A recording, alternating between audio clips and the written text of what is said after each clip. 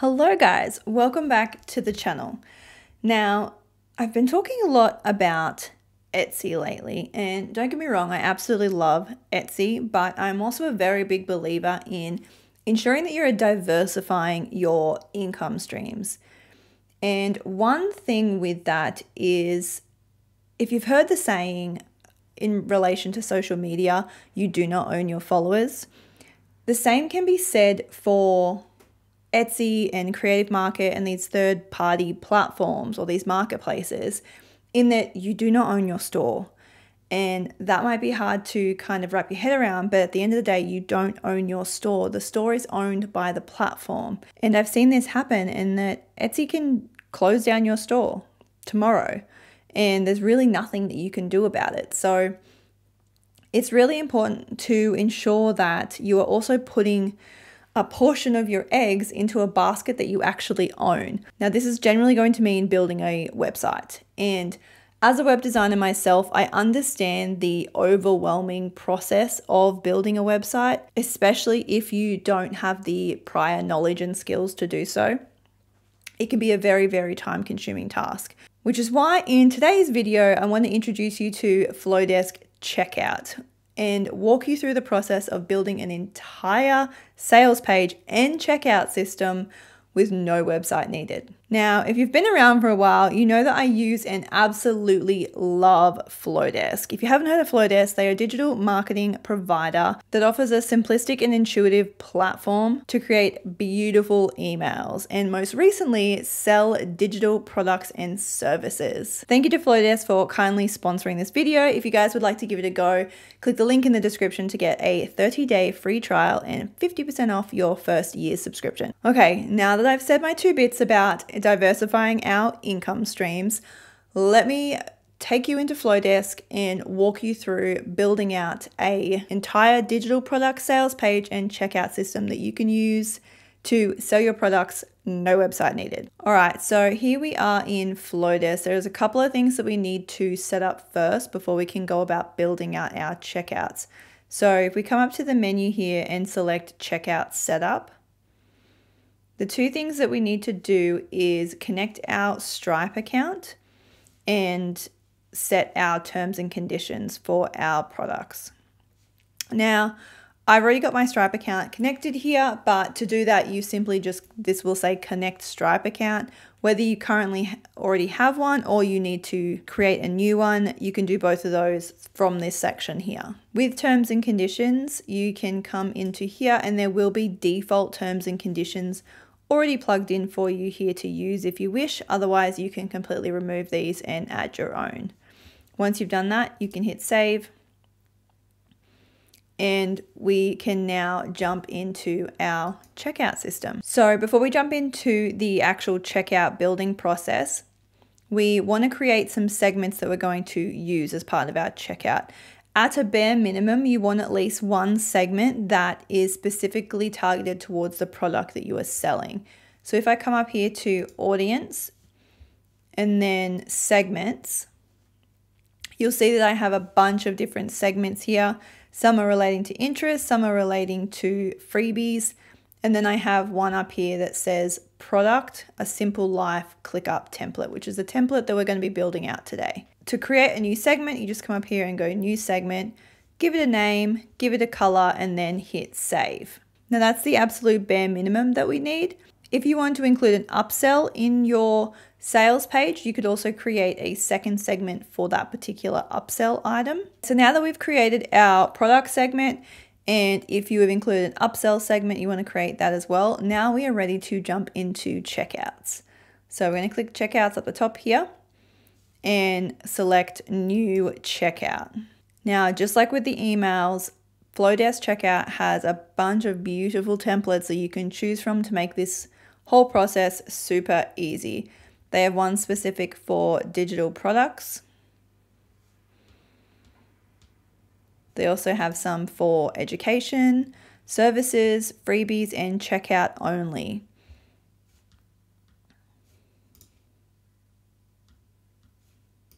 Now for my particular product, I'm going to select digital product and I'm going to choose this one.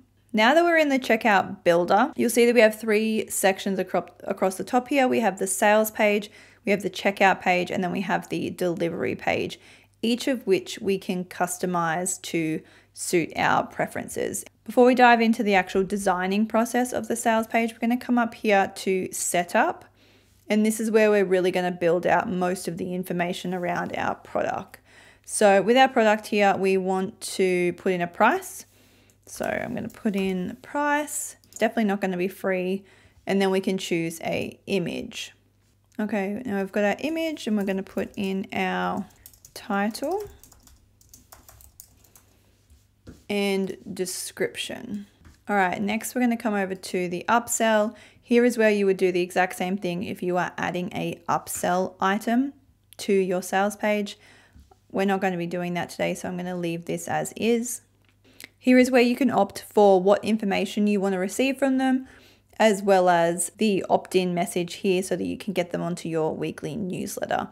And then this is where you would select the particular segments that you want to add people to. So an opt-in segment here, you could add them to your, let's say your nurture sequence or your welcome sequence.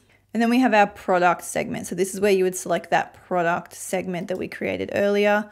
And then if you had an upsell segment, this is where you could add that one as well. Here you can opt to add a testimonial. This would show up on the checkout page. Uh, for now, I'm going to leave that blank.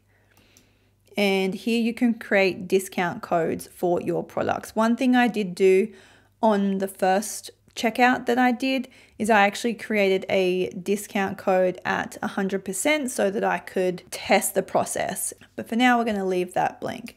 Now that I've done that, we can exit out of the setup and get started on building out our pages. So you'll see here that as I hover over each section, it will give me access to edit the text, edit the images via this menu on the right hand side. Now you can edit these blocks, you can also delete them, and you can also add additional blocks. For my sales page, I have a pretty clear idea of what I want to include, and I've filled it out here on this document as to what is going to be included in my sales page.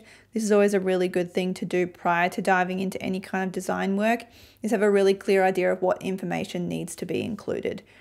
So what I'm actually going to do is remove some of these blocks and add some additional ones. So I'm going to delete this top one and add in a new block. So to add in a new block, you would just click this add block button here and you'll see here that Flodesk Checkout has an array of different template and designs for headers, text, image, galleries, lists, video, pricing, and testimonials. There's so many different options that you can choose from. So for this first one, I'm going to select this one and edit this text by just double clicking and selecting it. And I will change template. Now, obviously that's a bit too big, so I'm going to select all of that, come over here and adjust the size slightly. And to change any of these images, now this is a, a rectangle shaped image. I actually want to change to square, so I've selected this. I'm going to come over here and change this to a square. I'm going to upload a image of my product or a mock-up of my product here. And we've added in our image. Again, to change any of this text, I'm just going to click and then select all and paste my new text. I can edit this however I like and also with the sales pricing down here I can change this font to something that stands out a bit more. And then this button here I can select that and change that to buy now. I'm also going to click that and then come up here to where it has button and I'm going to change that to a pill shape to match with my branding a bit better I'm also going to change the colors in the font. Now the next block that I want, coming back to my document, is a instructional section on how to actually download the files. So we're going to, this is not what I'm after. I'm going to come back in to add a block, come over to text, and this one here is kind of what I'm wanting with a heading and three little sections. Now, you also don't need to keep these default fonts that appear in each of these templates. You can select the text here and then come over to font and change that. Flodesk has a really great variety of fonts that you can choose from and you can also opt to upload your brand font if it's not included also. You can adjust the size, the font color, the alignment, the case, and also the spacing. Now I'm going to go through and just finish each of these blocks for the sales page and I'll check back in with you in a second. Okay, so I have finished my sales page. I'll give you a little walkthrough of the few things that I've done. So we have our header section here with a photo. We have a buy now and marking that we have a sale on this price. Like I said, to do that, I simply selected this section here. Well, firstly, I did this section and I put a strike through that. And then I selected the sale price and I just changed the font color of that particular uh, section. Next, we have a bit of information about how to go about purchasing and what happens once you purchase the item. Then I have just a image block with a mock-up of each of the different pages within the template. And coming down here, we have a what's included in the template to give them a bit more of an overview of what, what they can expect from it. An FAQ section here with some frequently asked questions, a bit about myself as the designer, creator. And then we have one final buy now section here. So straightforward, I think that took me oh gosh, maybe 10 minutes, if that, to do. And once we have that set up, we're going to come across here to the checkouts page. To edit this page, we're just going to click anywhere on the background here so that we can select what we want to appear, what we don't want to appear. So firstly, I'm going to turn off the upsell option here. And I'm going to keep the logo display. I'm going to keep the email opt-in.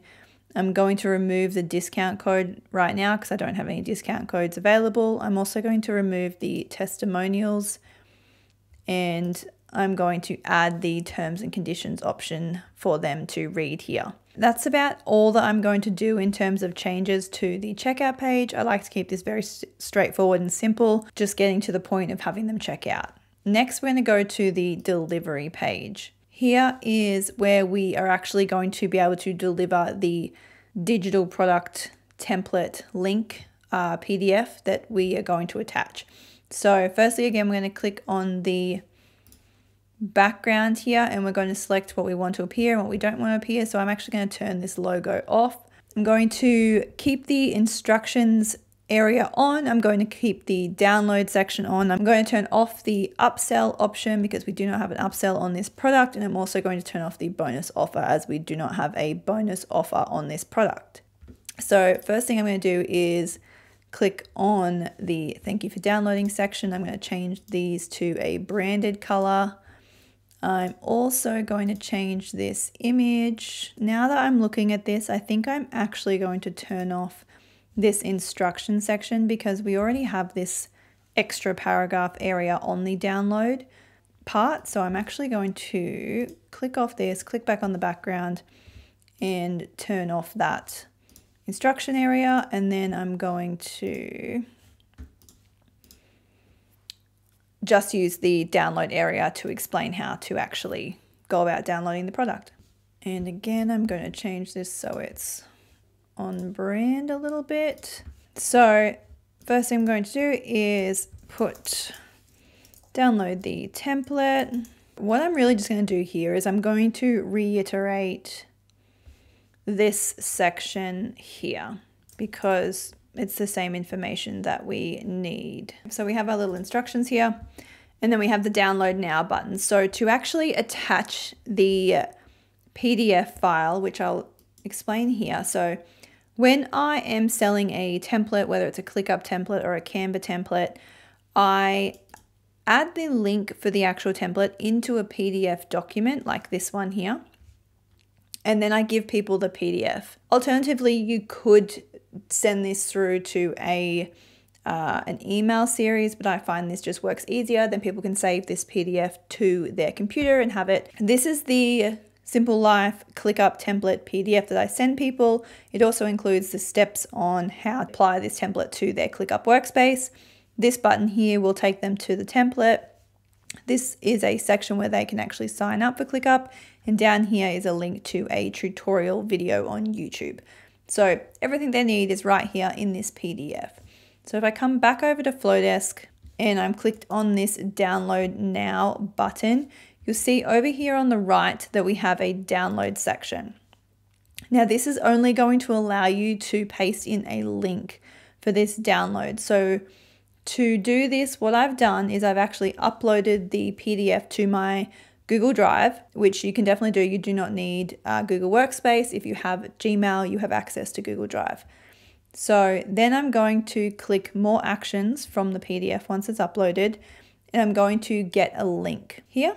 And I'm going to change this from restricted to anyone with the link will be able to access this particular PDF. So I'm going to copy that link and then I'm going to come back over to Flodesk and I'm going to paste that link into this linked file section here.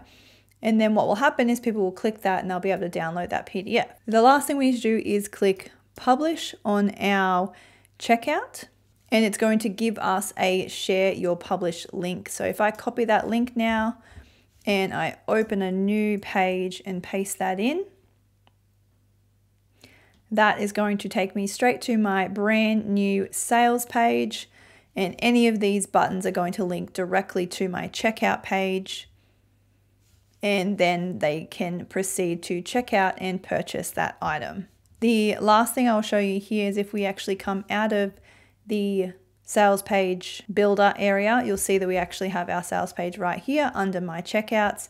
And down here on the bottom right, we have access to the analytics. So it's going to actually show you the analytics of how many visitors you've had to your sales page, how many orders, and the total sales from that sales page.